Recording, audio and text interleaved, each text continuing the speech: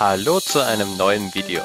Absolute und relative Zellbezüge sind Wissensgrundbausteine, um in Excel effektiv zu arbeiten. Bevor wir starten, bitte diesen Kanal jetzt abonnieren, damit ich noch mehr Videos dir anbieten kann und bedanke mich sehr herzlich bei allen, die diesen Kanal dadurch unterstützen. Und jetzt starten wir los. Sehen wir uns eingangs nun den Unterschied zwischen relativen und absoluten Bezügen näher an. Es gibt wie gesagt zwei Arten von Bezügen, relativ und absolut, und diese verhalten sich unterschiedlich, wenn sie in andere Zellen kopiert und gefüllt werden. Relative Verweise ändern sich, wenn eine Formel in eine andere Zelle kopiert wird.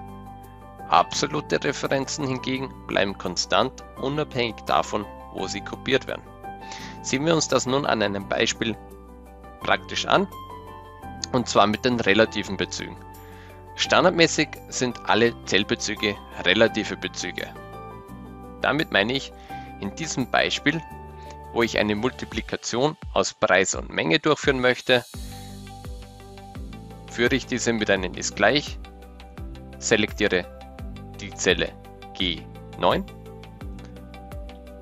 und multipliziere diese mit der Zelle H9. Das entspricht ein relativer Bezug.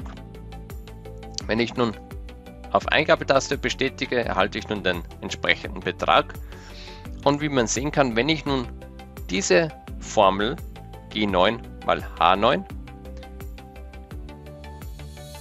auf die anderen Zeilen anwende, so werden diese entsprechend verschoben und erhalte die Formel angepasst auf die jeweilige Zeile. Das ist sozusagen nun ein relativer Bezug. Die gleiche Vorgehensweise kann auch in Spalten angewendet werden. In diesem Fall habe ich diese in den Zeilen angewendet.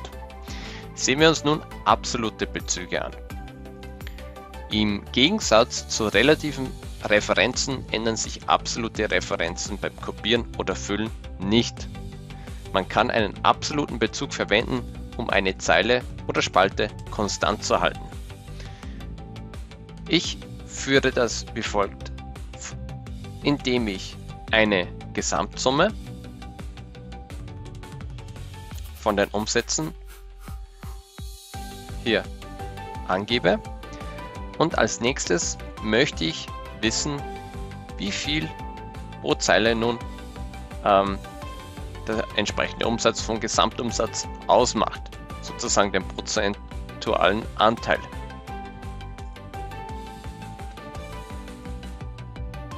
Hierzu gehe ich wiederum in den Eingabemodus, selektiere meine entsprechende Zelle und möchte nun den Anteil von der Gesamtsumme ermitteln.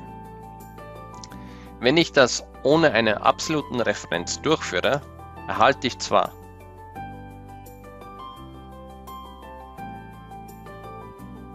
im ersten, im ersten Ergebnis ein korrektes Ergebnis.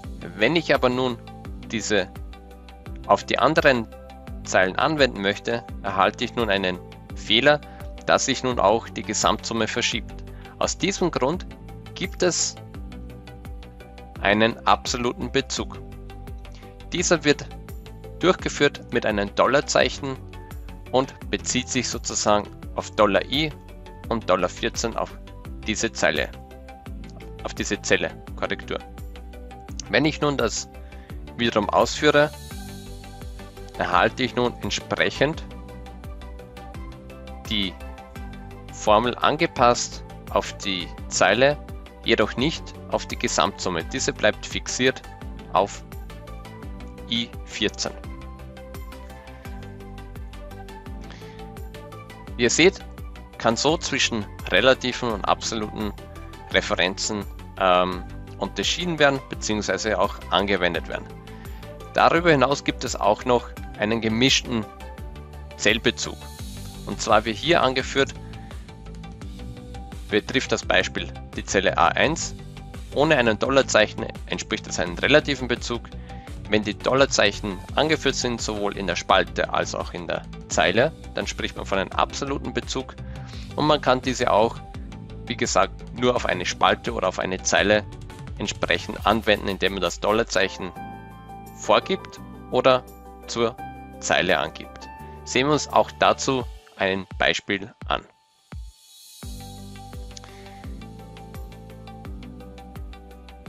Hier ist in den Zeilen ein Preis angegeben und hier in den Spalten der entsprechende Umsatz.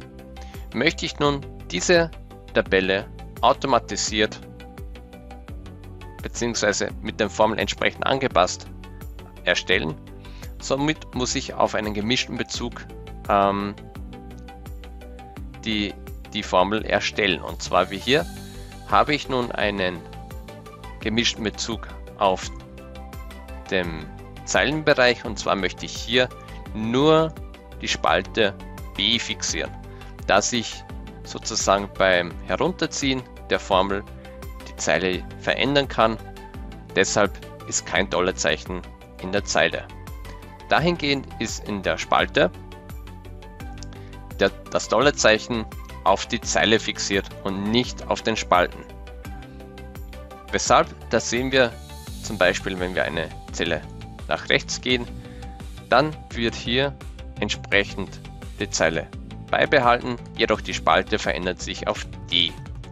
Und somit kann auch dann für die restlichen Zellen diese analog automatisiert durchgeführt werden. Wenn ich diese hier lösche, kann ich mir sehr viel Zeit durch eine überlegte Anwendung der gemischten Zellbezüge mir ersparen. Ein weiterer wichtiger Tipp ist das Umschalten zwischen relativen und absoluten Referenzen. Das möchte ich hier kurz vorzeigen und zwar gehen wir davon aus, es wäre ein relativer Bezug, so kann ich die gesamte Formel und mit der Taste F4 entsprechend auf einen absoluten äh, Zellbezug umschalten. Ich kann aber auch einen gemischten ähm, Zellbezug erstellen, indem ich ein weiteres Mal auf die Taste F4 drücke. Wie auch hier. Somit kann man mit der Taste F4 entsprechend die Formel auf unterschiedlichsten bzw. gemischten Zellbezügen umschalten. Wie ihr seht, könnt ihr damit in Excel effektiver arbeiten, wenn ihr das Anwenden von den Zellbezügen, ob es absolut, relativ oder auch ein gemischter Bezug sein soll, eine Menge Zeit ersparen und falls du Fragen dazu hast, hinterlass mir einfach einen Kommentar. Ich werde versuchen dir zu helfen und würde mich sehr freuen, wenn du auch im nächsten Video mit dabei bist. Bis dahin, alles Gute und viel Erfolg.